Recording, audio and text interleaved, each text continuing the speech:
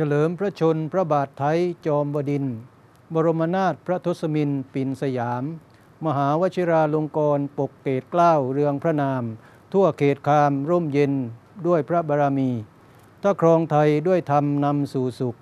เผ่าพระสุข นิราชทุกทั่วถิ่นที่ ทรงทำรงพระราชปณิธานแห่งความดี พระภูมิคือพลังแห่งผองไทย 28 กรกฎาวาระดิถี ขอพระนฤบดีศพสุขทุกสมัย สถิตเป็นขวัญเกล้าวนิรันไป พระจอมชัยขอจงทรงพระเจริญ